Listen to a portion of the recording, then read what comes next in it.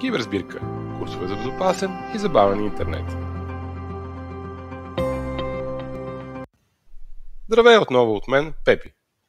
Настани се удобно, приготви си твоя кибердневник, химикалка и ако разполагаш с телефон или таблет с достъп до интернет и да започваме нашата киберсбирка. Темата на днешната киберсбирка са нашите дигитални отпечатъци. Вероятно първото нещо, което ти идва на ум, са пръстовите отпечатъци, които използваме за да заключваме телефоните си. Но няма за какво да се притесняваш. Те са напълно защитени и няма как да бъдат снети. Какво ако ти кажа обаче, че всеки път, когато влезеш в интернет, използвайки своя социална мрежа, т.е. потребителско име, своя парола, своя аватар, ти оставаш отпечатъци, които не просто могат да се снемат, но могат да бъдат видяни от целия свят и водят винаги до теб. Не ми вярваш? Нека да помислим. Когато си в интернет, ти си там за да прекараш времето с твоите приятели. Чатите си, играете игри, споделяте снимки, видеоклипове и така нататък. Трябва да знаеш обаче, че интернет е много по-голямо място от това.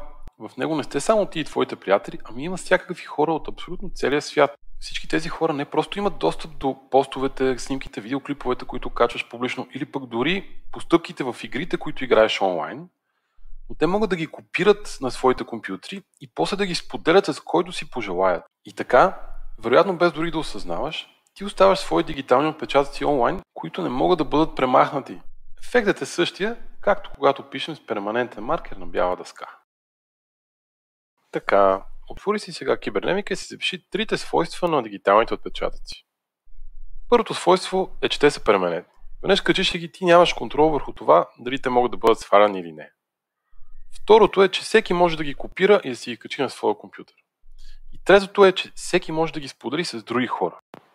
Ето защо е много важно да внимаваме, когато качваме и споделяме каквото и да било в интернет. В днешната киберсбирка ще обсъдим всички възможни дигитални отпечатъци, които можеш да оставиш в интернет. Освен това, ще си поговорим как дигиталните отпечатъци могат да повлияят на теб и на важните хора в живота ти.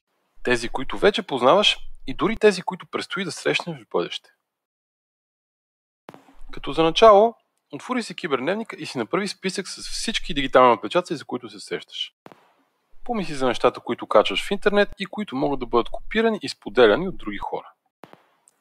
Приключи ли се задачата? Добре, да видим сега какви дигитални отпечатъци можеш да оставиш в. Това могат да бъдат всички снимки и видеоклипове, които те изобразяват и които са качени от теб или от някой друг. Примери за дигитални отпечатъци са също така всички твои профили, аватари, потребителски имена, никове и въобще всякакви начини, по които се представиш в социални мрежи, в игри и така нататък. С други думи, има значение как се кръщаваш в интернет и какви биографии си слагаш в профилите. Дигитални отпечатъци са също така всички твои постове в социалните мрежи, както и коментарите, които оставяш под снимките или постовете на други хора. Ако си направиш блог, вебсайт или пък канал в YouTube, също би оставил своя отпечатък в интернет.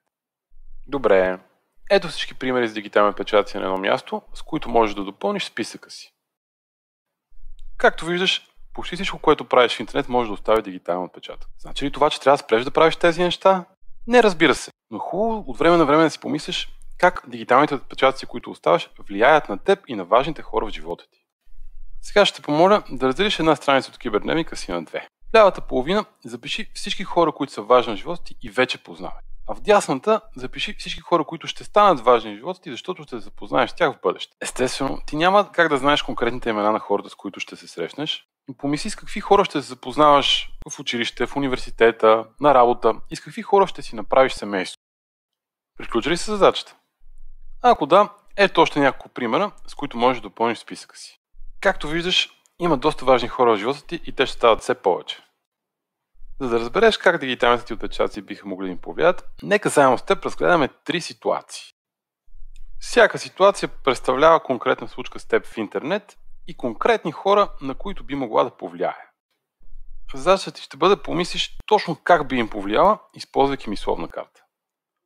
Ако до сега не ти се е да използваш мисловна карта, не се притеснявай. След малко ще те науча как. Първо, обърни нова страница от кибердневника си и в средата напиши първия дигитален отпечатък, който ще разгледаме. И това е снимка на това как спиш в час. Да, добре чу.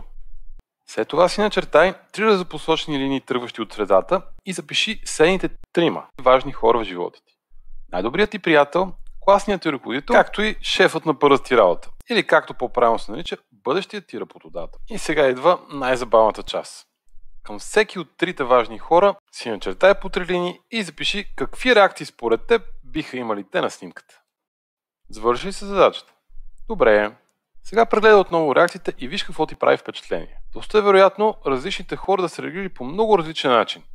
Най-добрият ти приятел, например, вероятно би се посмял, щом види снимката.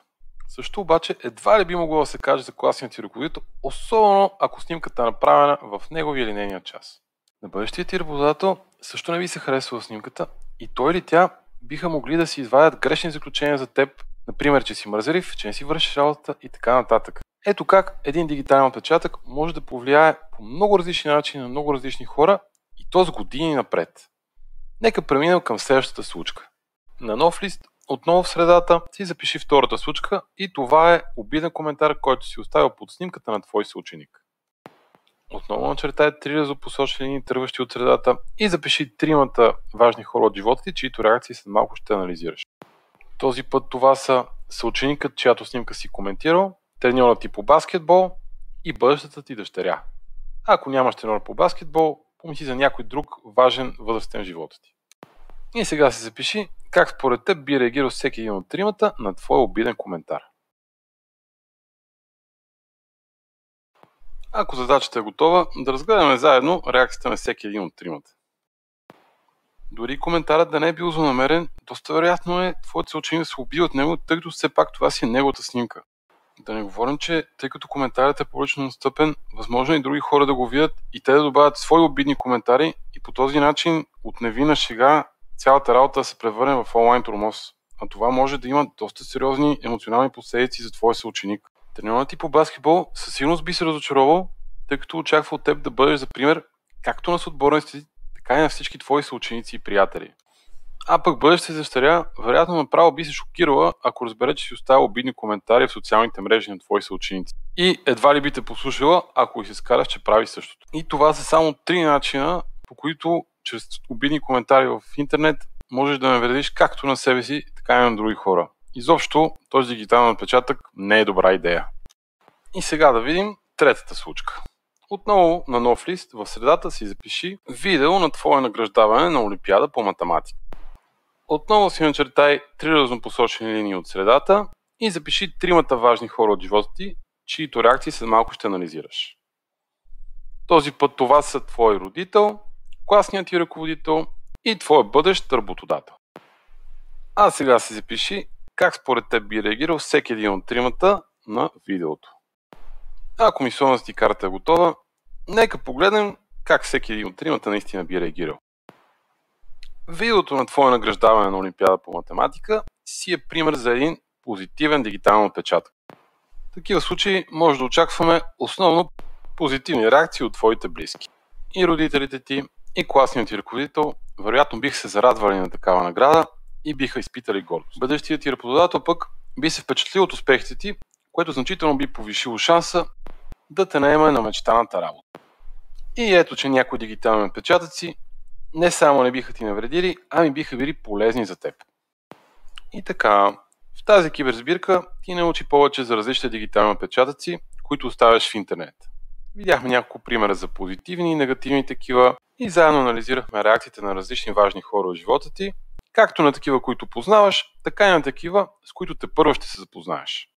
Ето го и киберпредизвикателството за тази киберсбирка. Може да го направиш един път, няколко пъти или пък да го превърнеш в седмичен ритуал, ако искаш. На края на седмицата разгледай всички видеоклипове, снимки, коментари и всякакви други дигитални отпечатъци, които оставяш в интернет.